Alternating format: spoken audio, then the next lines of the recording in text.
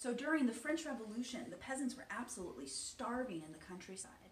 And the story goes that Marie Antoinette said, if they're so hungry, just let them eat Pie!